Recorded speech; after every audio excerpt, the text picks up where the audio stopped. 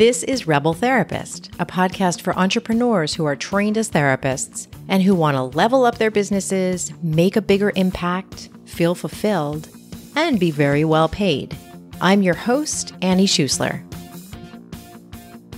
So I got this email last week, and it was the worst email I've gotten in a while.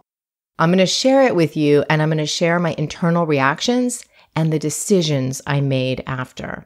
Now, this email really isn't that bad. I'm sharing it because I know a lot of you are really afraid of getting an email like this one. And I'm hoping that hearing about my experience is going to help you feel less afraid of that. And I'm hoping that you feeling less afraid of getting an email like this is going to help you make aligned decisions in your business. And I'll explain all of that in just a little bit.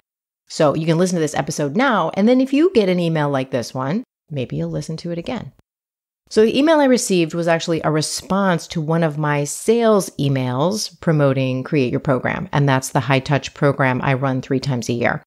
So this email I received said, way too many emails with not much info. Blocking your email and please remove me from your waitlist. Feels like clickbait. So I said, ouch, out loud. And then my partner looked over at what I was reading and said, that's not nice. And I paused for a moment and I had this feeling of, am I a fraudster? Am I a villain? Am I a jerk who never provides value? Am I spamming this person? And does this person hate me? And then I paused and I said to my partner, you know what? No, it's okay. She's right to tell me she's annoyed.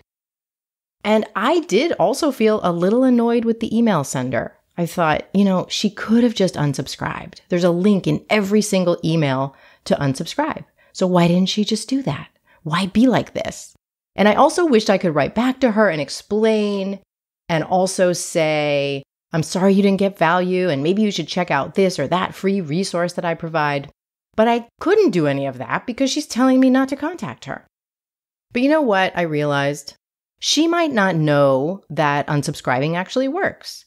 And she's totally within her rights to tell me her experience and set a digital boundary. She was clear and did not call me names or behave abusively.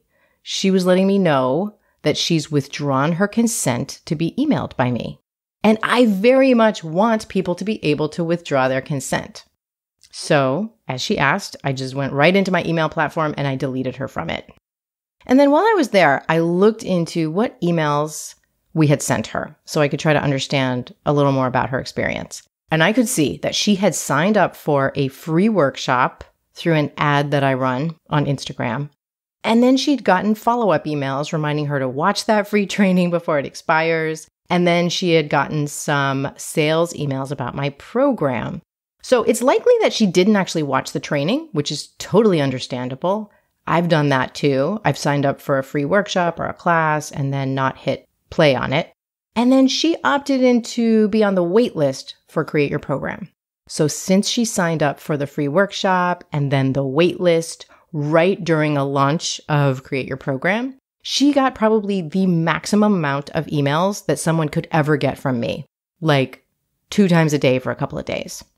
So I took a step back and I looked at that and I thought, is there anything I want to change about this flow going forward? And in this case, I didn't really want to change much. I want people who are new to my list to have a chance to jump in on the interest list. It's called a wait list, but it's really an interest list for Create Your Program. And a lot of times people find me right when they're looking for a program like mine. And it's really important that they can sign up right away if that's what they're looking for. I only run it three times a year right now, so I don't want people to have to wait months to get a chance to jump in if they're ready for it now. So I didn't make any big changes, but I did make one change. I already have an opt out email that I send every time I'm launching to my list. It basically says, I'm going to be promoting my program for a couple of weeks with more frequent emails. And if you want to stay on my list, but you don't want to hear about create your program this round, just click here and it'll be quiet for a couple of weeks. This was something I learned from Kelly Diels, and I always hat tip to her in that email. So the change I made is a pretty small one. I went ahead and added a quick opt out option to all of the sales emails, not just that one. So if someone on my list opens any sales email before the final day of enrollment, they're going to have a chance to opt out of receiving more sales emails in that round. Now, if that didn't make sense to you, don't worry about it. I just basically gave people a way to get less emails from me if that's what they want. So I actually feel pretty good about how that whole process went. When I take a step back, I know that for me, it's tempting to either collapse into shame when I get an email like that or to get mad at the person who criticized me. And I felt really good noticing that I didn't really do either of those things. I felt twinges of both of those things, a little bit of shame, a little bit of anger. But then I quickly found a more grounded spot. So on the shame side, I felt like, ugh, this is upsetting. But also, I know I'm a good person who is striving to do good work and to give value. So I don't really need to collapse into shame.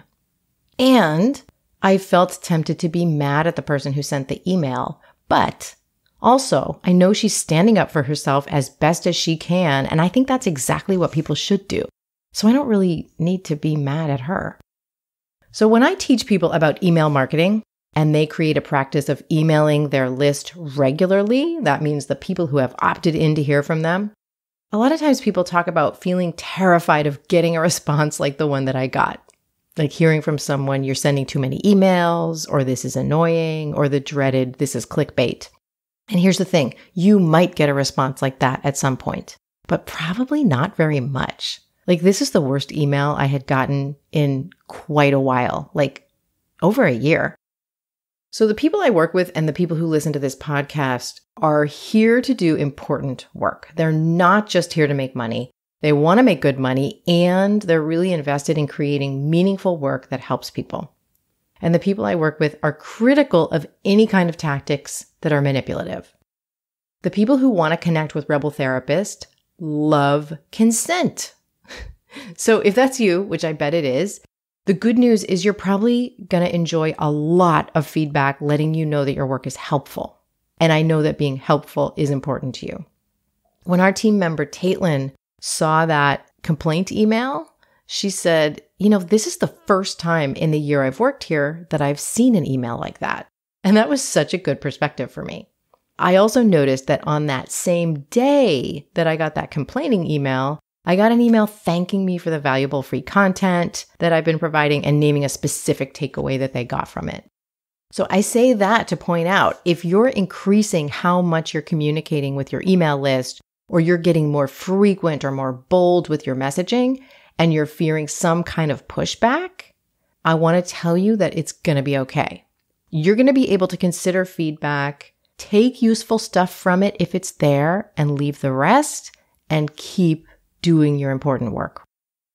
Now, before I close this topic, I do need to tell you where this kind of thinking doesn't apply. I've gotten really mean and abusive comments sometimes on social media, like someone recently sharing that I am hideous. And of course, that feels bad, but that kind of comment is so clearly not something to consider or let in. That's coming from a person who's trying to harm a stranger by insulting that stranger's appearance.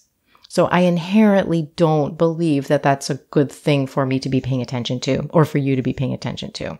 And when people are dehumanizing in their communication with you, I really don't suggest that you consider their feedback. Screw that. That is really not feedback. And now, if you want to get on the interest list for Create Your Program, that's the very interest list that this person requested being removed from, please head over to rebeltherapist.me slash create. In Create Your Program, I work with you and a small group of ethical therapists and healers to create your signature programs and start working and making money in new ways. So to get on that interest list, you're going to head over to rebeltherapist.me slash create. And if you're finding this podcast supportive, there are a couple of things I want to ask you to please do. Number one, subscribe or follow wherever you're listening to this.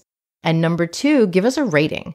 The more five star ratings we have, the more the place where you're listening to this show is going to share it with other people. We have 140 ratings on Apple Podcasts at the moment when I'm recording this. And if you would take a second and give us another five star rating, that would mean so much. It would really help us. I appreciate you so much. And I'll be back next time. I want to thank Ames Palms for editing this podcast. If you found this episode supportive, please do a couple of things. Share it with your favorite therapist or healer. That is absolutely the most important way we reach more people. And if you haven't already, please hit follow and give us five stars. That is so helpful to this podcast. And thank you so much for listening. I'll see you next time.